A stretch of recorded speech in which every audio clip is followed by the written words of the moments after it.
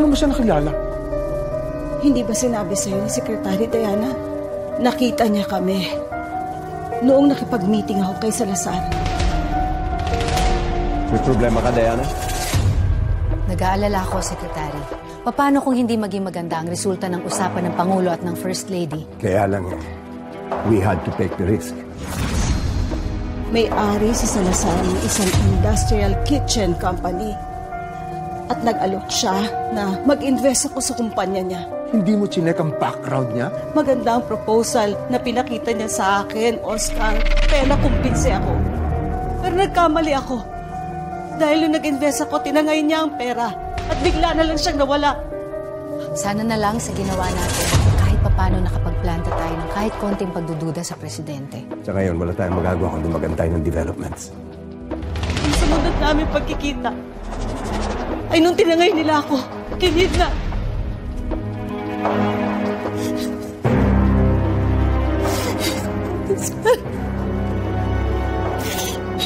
Pinagtaka niya akong kasahin.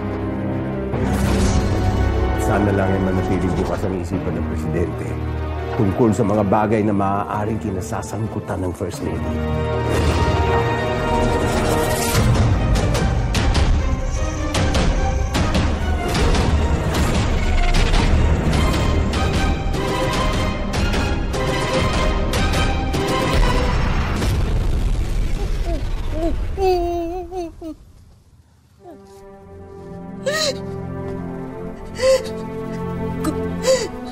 Kung hindi dumating si Nakado, hindi ako makakawala sa taong yon.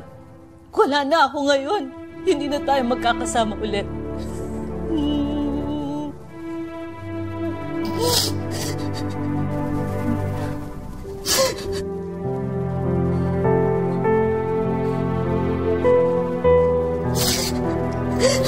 Ngayon lang mo sinabi sa akin to? Ayoko nang bigyan ka pa ng alalahanin. Ayoko nang magdagdag pa sa mga problema mo. Ayoko nang balikan yung mga pinagdaanan ko. Ako, tawarin mo ako, Lily. Hindi ko sinasadyang balikan pa mga nangyari sa'yo. Oscar, maski nakikiusap ko. Huwag na natin pag-usapan ulit ito.